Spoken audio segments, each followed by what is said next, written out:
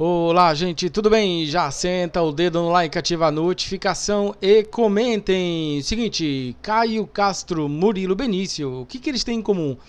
Casas fora do comum, é, exatamente. Eles ostentam aí com casas é, um pouco incomum, né? Com certeza. Vocês vão vendo fotos conforme eu falo.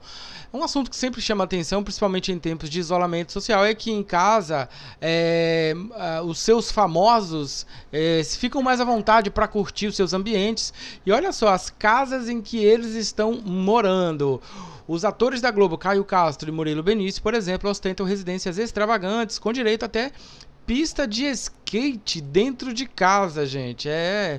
Caio Castro mora em um apartamento no centro de São Paulo, seu endereço fixo onde aproveita seus momentos de descanso. Isso quando não está na casa da namorada, a Grazi Massafera, como está acontecendo agora durante todo esse processo. A casa de Caio Castro reúne tudo que o ator mais gosta: referências de street art, espaços para receber amigos e familiares, com direito à mesa de sinuca, né, como a gente viu aqui, ó. A mesa de sinuca, área para churrasco e até um cinema para reunir os convidados. Todos os detalhes foram mostrados em uma edição do Casa Vogue Brasil. Já a casa de Murilo, Beni, Murilo Benício mostra uh, uma casa com vista né, para o Cristo Redentor e, e, tem também um dos cartões postais aí do Rio de Janeiro, né? O local que tem arquitetura e decoração de Miguel Pinto Guimarães.